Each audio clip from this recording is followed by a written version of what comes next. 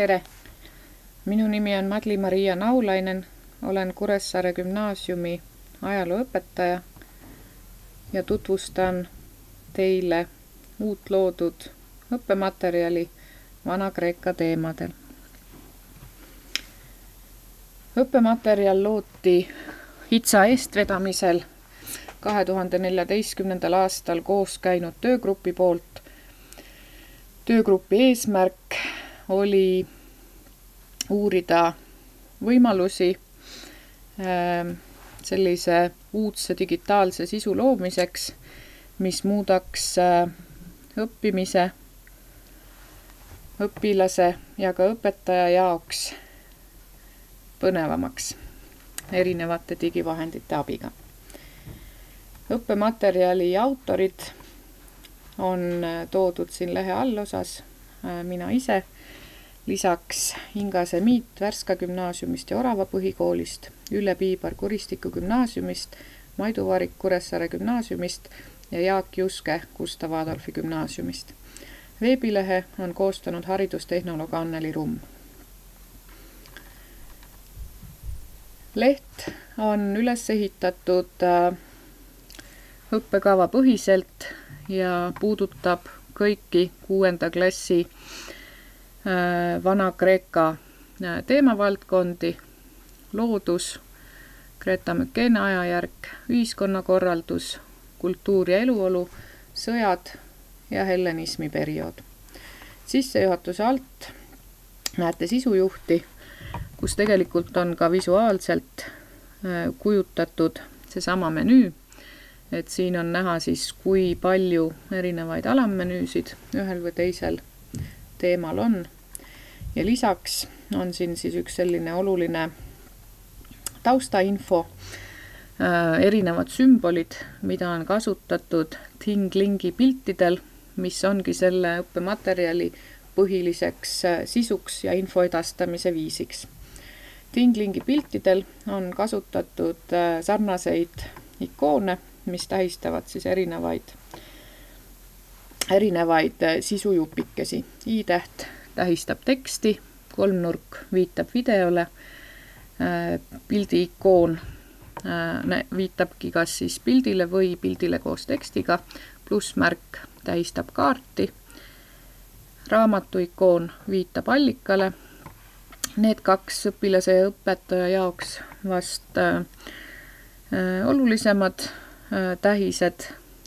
Inimese kujutis viitab äh, ülesandele, tihtipeale on need siis sellised enesekontrolli ülesanded või ka küsimused. Ja selline siiruviiruline kujutis viitab rühma ülesannetele. iga pilt on, äh, on siis äh, üleval vasakus nurgas tähistatud ka nooleikooniga ja nooleikooni alt tegelikult leiab sissejuhatuse sellele samale teemavaldkonnale, millest pilt räägib ja, ja ka kerge juhise selle kohta, mismoodi seda pilti on mõistlik äh, vaadata. küsimärk Äh, viitab abimaterjalile ja vajadusel on kasutatud ka õpetamise meetodi sümbolit. aga läheme nüüd lähemalt siis juba lehe sisu enda juurde. sissejuhatuse alt lisaks siis sisujuhile leiab ajatelje.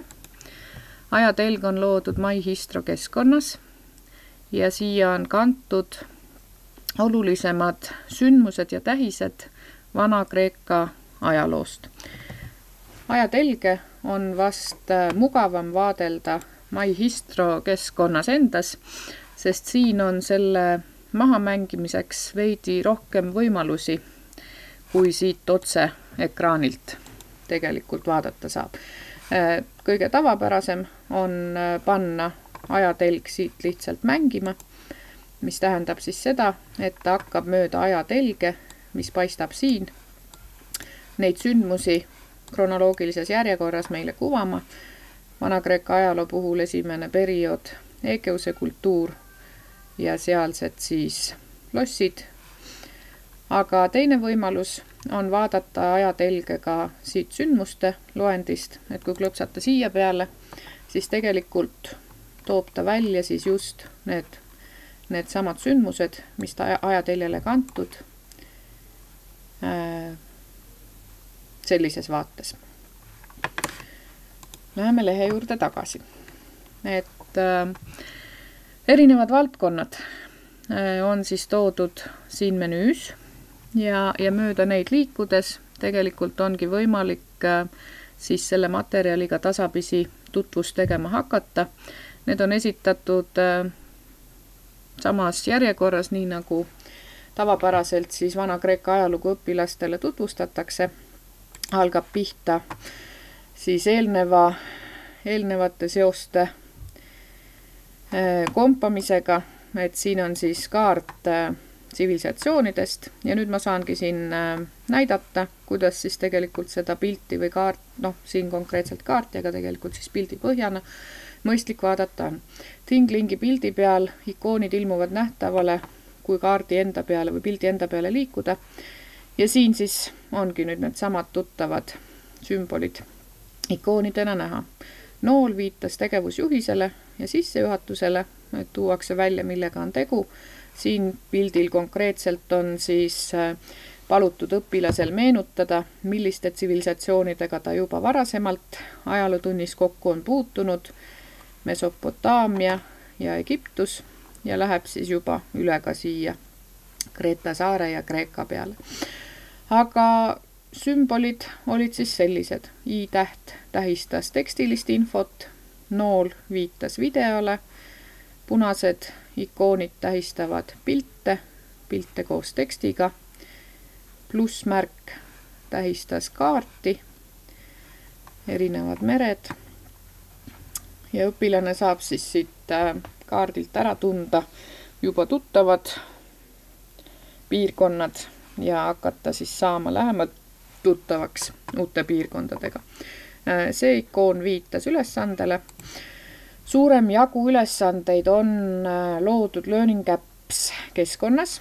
Learning Apps keskkond on, äh, on siis selline veebivahend, kus on äh, üsna lihtsa vaevaga võimalik õpetajal luua väga palju erinevat tüüpi enesekontrolli teste no ma siin näitan lihtsalt näidisena ära ka, et seesama konkreetne kaart, et kui õpilane on sellega siin tutvunud, vaadanud läbi erinevad tähised, saab ta kohe panna siis ka oma teadmised kontrollile, vastates äh, siin kaardil nendele küsimustele. ja noh, näiteks klõps on siis siin peal ja palutakse mul määratleda, millise kultuuriga on tegu või millise paigaga. Kreeta saar Kreeka ja Egiptus. nii, ja, ja tegelikult on võimalik siis siin ka kohe vastust kontrollida. et äh, siin konkreetselt siis on näha, et rohelisega on tähistatud õiged vastused ja punasega siis valed vastused või need, mida ei ole veel jõudnud, jõudnud vastata. Learning Apps keskkonnas on võimalik õpetajal äh, sedasama äh, loodud ülesannet ka enda ülesandena salvestada ja vastavalt oma vajadustele mugandada nii et selles mõttes selline väga, väga hea keskkond kasutamiseks. Äh, looduse all on lisaks siis tsivilisatsioonide kaardile ka Kreeka looduskaart, kus siis on toodud välja erinevad äh, tähised, mida õpilaselt, äh, kuuenda, kuuenda klassi õpilaselt siis eeldatakse, et ta teab, on toodud erinevad Kreeka osad, Balkani poolsaar, Peloponnese poolsaar, märgitud peale siis suuremad linnad, Sparta, Ateena, Trooja, millest on ka juttu äh, Egeuse kultuuri raames. edasi läheb äh, teema Greta Mükene ajajärguga. siin on toodud pildina losside võrdlus, aga jällegi ikoonid tegelikult sarnased, noole all tegevusjuhis, kerge sissejuhatus ja siis saab vaadata läbi ning tutvuda erinevate materjalidega või infoga, mis siia pildile on lisatud, saab lahendada ülesandeid, vastata küsimustele.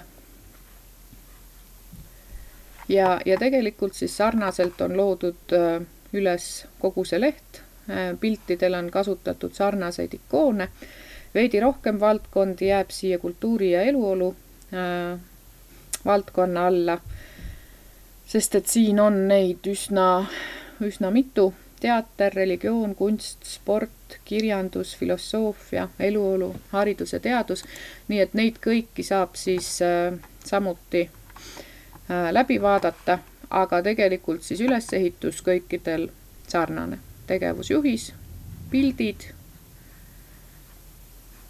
tekst, i-tähe all ja ülesanded siis nende vastavate ikoonide all.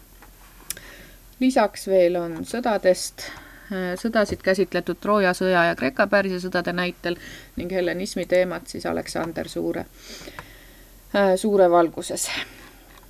nüüd äh, lisaks siis teemavaldkondadele on lisatud ka viide õpetajale ja õpetaja viite all tegelikult on toodud eraldi välja just needsamad veebivahendid, mida selle lehe loomisel on kasutatud ja mida on kasutatud nende ülesannete äh, loomisel, mis on siis õpilasele suunatud. Äh, kõik need pildid on loodud ThingLink keskkonnas. väga lihtne ja huvitav võimalus mingi info edastamist põnevamaks teha. saate tutvuda juhendiga koolielus, nii nagu tegelikult ka kõikide teiste vahendite puhul. Learning Apps oli keskkond, kus on võimalik luua väga palju erinevaid äh, enesekontrolli teste või ka skeemi põhjasid. MyHistro on ajatelje keskkond, mida on võimalik kasutada ka eestikeelsena, et ongi Eestis loodud. Äh, eeliseks äh, see, et, et ajatelje sündmusi saab siduda ka kaardiga et mis on ajaloos ju tegelikult oluline oskus, nii et kindlasti võiks ka seda koos õpilastega katsetada. ja järgnevad kolm on siis erinevad äh, sellised ühisloome võimalused, kus äh, samamoodi õpetajal on võimalik salvestada endale loodud äh, näidispõhi ja, ja paluda siis oma õpilastel lisada sinna jooksvat infot. kogu õppematerjali loomise laiem eesmärk lisaks sellele, et luuagi sellist digitaalset õppevara ja, ja sisu, et õpetamist põnevamaks muuta, on tegelikult ka koguda sellele samale äh, pilootprojekti tulemusele tagasisidet. et äh, erinevad õpetajad on äh, meie rõõmuks võtnud oma ülesandeks õppematerjali katsetada, me loodame, et seda teevad ja hakkavad kasutama paljud ajalooõpetajad aga meie jaoks on kindlasti oluline saada tagasisidet selle kohta, et kuidas sedalaadi materjal õpetajale ja õpilasele kasutamiseks tundub, kas see lihtsustab õppimist, teeb see seda põnevamaks. kindlasti võiks anda märku, kuidas te seda olete kasutanud ja, ja juhul, kui leiab siit mingeid kitsaskohti, probleeme, siis ka nendest soovime, et te meile märku annaksite. muus osas soovin teile põnevat õppematerjali avastamist ja kasutamist. loodetavasti teeb see ajaloo õppimise põnevamaks. aitäh!